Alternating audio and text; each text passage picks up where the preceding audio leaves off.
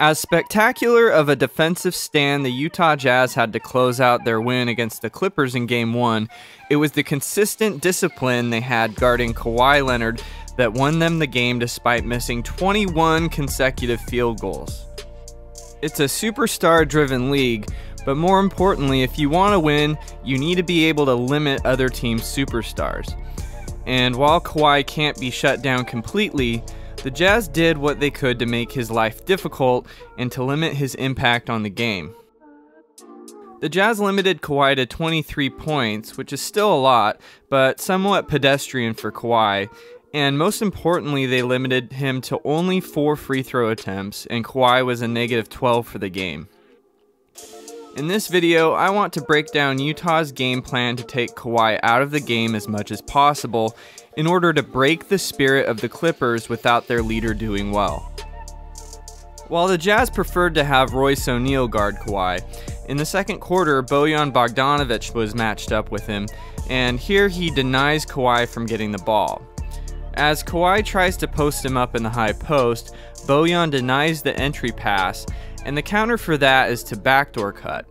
But Niang isn't really too concerned with Terance Mann, so he protects on the backdoor cut, and once Bogdanovic has recovered, Niang rotates back to Mann on the drive. Once the drive is stymied, Bogdanovic once again stays in the passing lane so Kawhi can't get the ball. Mann tries to drive once again, but this time Gobert helps so he has to kick it out, and it's a shot clock violation.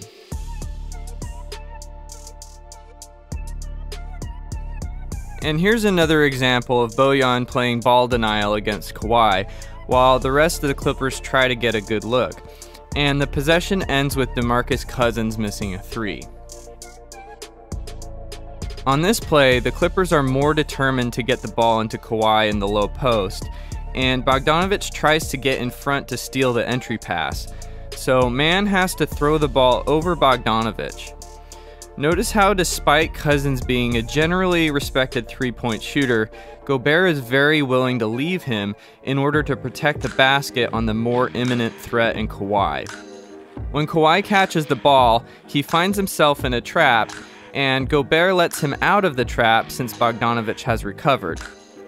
Now, here's the interesting dynamic that nobody's going to talk about.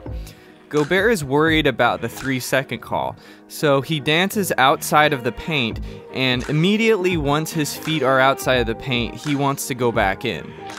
Once he goes back in, Kawhi uses his momentum against him to time his kickout pass to Cousins.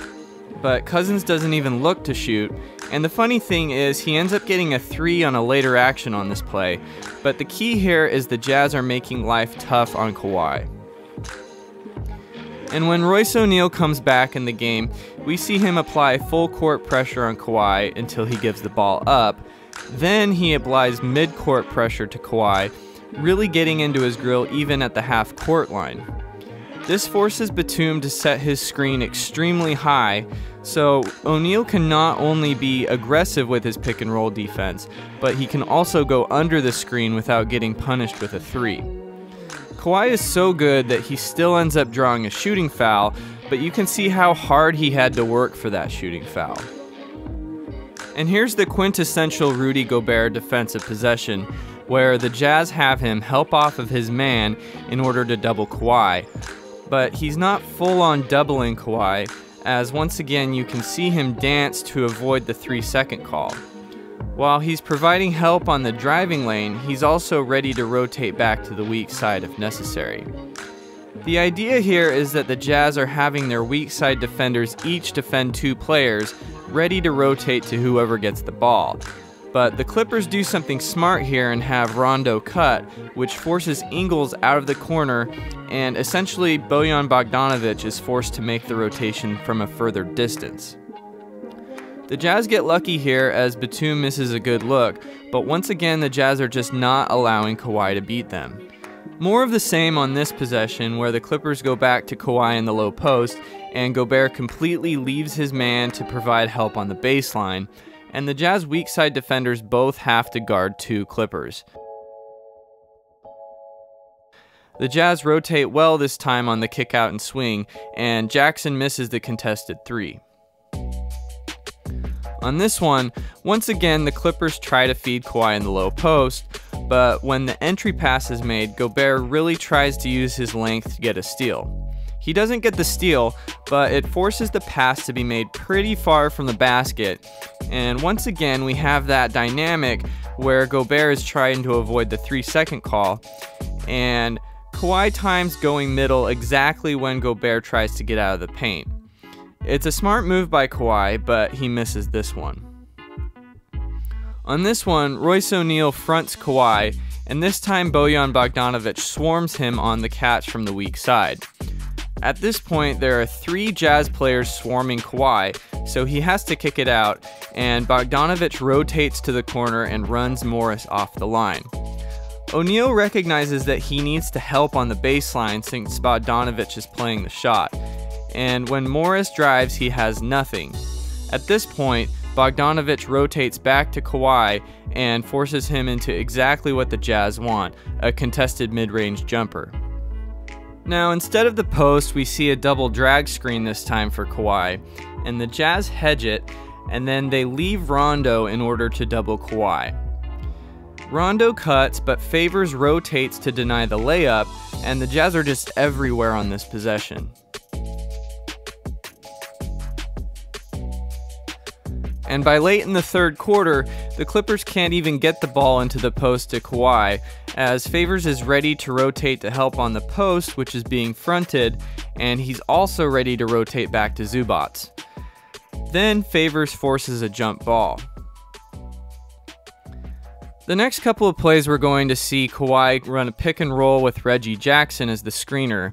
And the first thing to note here is how much Bogdanovic is pressuring him.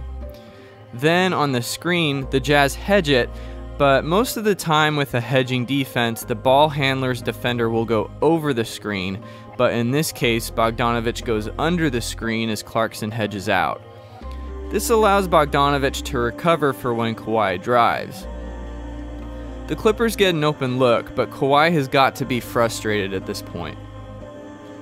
Same action on the next play with Bogdanovic applying even more pressure without fouling. The Jazz once again have Clarkson hedge while Bogdanovic makes sure to go under the screen. This time Kawhi wants to go the other direction, but Bogdanovic is still waiting for him.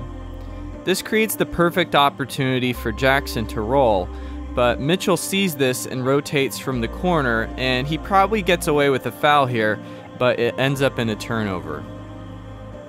And the bad calls went both ways in this game, as you'll see on this play, as Bogdanovic once again fronts Kawhi in the low post. But this time on the catch, Mitchell rotates over to swarm him, and Mitchell strips Kawhi. But Kawhi gets the ball back, and while Gobert is ready to block him on the putback attempt, Kawhi comes down with the ball to avoid the block, and the travel isn't called.